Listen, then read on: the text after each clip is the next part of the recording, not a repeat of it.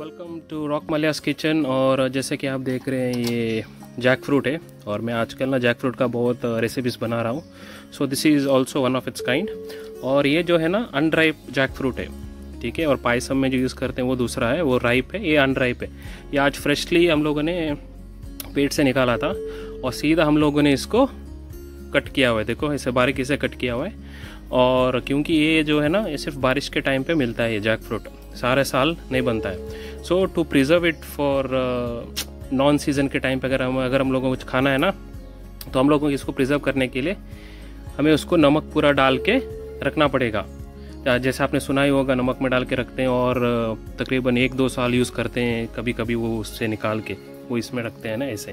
तो मैं अभी आपको दिखाता हूँ उसका क्या प्रोसीजर है। जैसे कि ये अनराइप जैक फ्रूट जैसे मैंने आपको बताया इसको अभी मम्मी नमक डालेगी। और नमक जो है ना, वो आप ये यूज़ करते हो सी सॉल्ट ठीक है? ठीक है ये सी सॉल्ट यूज़ करना है।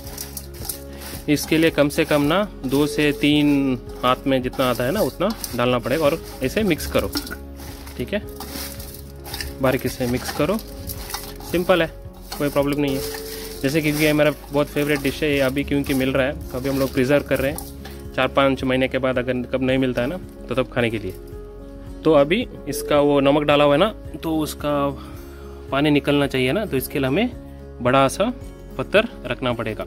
पत्थर को वॉश किया हुआ है और ये ग्राइंडिंग का पत्थर है एंटिक बहुत साल पुराना है जैसे आप देख सकते हो। इसको इसके ऊपर रखना है कम से कम कितना घंटे के लिए? Okay okay. एक दिन के लिए। ट्वेंटी फोर आवर्स इसको रखना पड़ेगा उसका वो पानी निकलता है उसके बाद में क्या कैसे बनता है मैं आपको कल दिखाता हूँ ठीक है?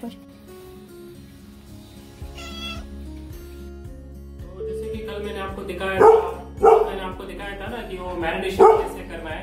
तो आज मैरिनेशन होके एक दिन हो गया तो आज उसका सेकेंड स्टेप है। तो हम ये पत्थर को इसमें से निकालना है। ठीक है? निकाल के साइड में रखना है। और मेरे साथ ब्रूनो भी इधर है। और ये पूरा करने से पहले हाथ हाथ को क्लीन करना है। हाथ में थोड़ा भी पानी नहीं होना चाहिए ठीक है? देखिए ऐसा हुआ है। देखो इसमें देखो, पानी निकल के आया है। देखो, पानी बोलेगा तो ये नमक है। ठीक है? अभी एक दिन इसको मैरिनेट करके रखा था। तो अभी इसको क्या करना है? इसको इसमें डालना है। जार में। ठीक है?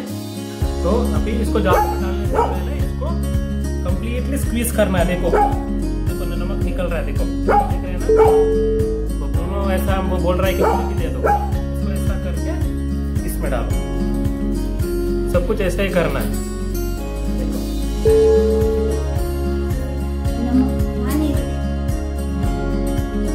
पानी कंप्लीट जाना पड़ेगा ठीक है? थोड़ा भी उसमें पानी नहीं रहना चाहिए। करना पड़ेगा ठीक है? थोड़ा भी रहना नहीं चाहिए। थोड़ा अपना स्ट्रेंथ लगाओ। देखो इतना पानी निकल गया।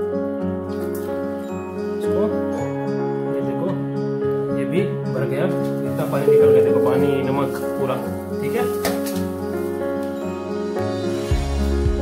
अभी इतना जार के लिए ना, मैंने नमक डालना पड़ेगा। नमक जो है ना, ये नमक यूज़ करना पड़ेगा रॉक सॉल्ट ठीक है?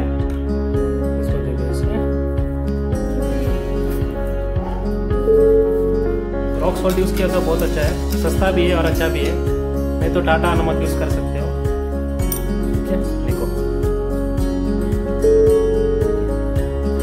सिंपल है कोई प्रॉब्लम नहीं है। इसको आप प्रिजर्व करके, कम से कम एक साल तक प्रिजर्व करके खा सकते हो। जब भी आपको खाने का मन करे तो आपको बस इसमें से ढक्कन निकालना है। जितना टाइम उतना निकालना है और खाना है। अभी नमक हो गया और अभी थोड़ा पानी डालना है। ओके। पानी हम लोगों ने इतना डाल दिया इतना फुल हो गया।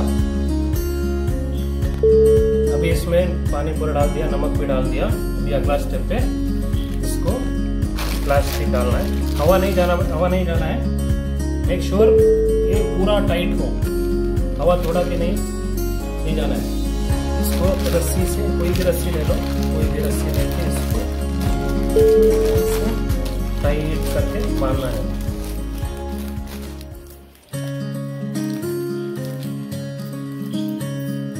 तो अभी आपने देख लिया, मैंने इसको कम्प्लीटली टाइट तरीके से बांधा हुआ है। अभी सिर्फ़ इसका इजी काम है, बस ढक्कन डाल दो और कहीं भी सेफ़ जगह पे रख दो, ठीक है ना? और मोस्ट इम्पोर्टेंट है कि जब भी आप इसका करी बनाते हो ना तो एक दिन पहले निकाल के पानी में डाल के रख दो, क्योंकि इसमें नमक रहता है ना तो एटलीस्ट सिक्स आवर्स पानी में रख दो और जो भी रेसिपी बनाने से पहले। और रेसिपी बनाने के बाद ना, नमक डालने के टाइम चेक करो, क्योंकि ये ऑलरेडी नमक में है। तो स्वाद अनुसार आप नमक एडजस्ट कर सकते हो, ठीक है ना? ये अभी बन गया और ये अभी एक साल के लिए कोई चिंता नहीं है जैकफ्रूट रहे ना रहे, इसमें तो है।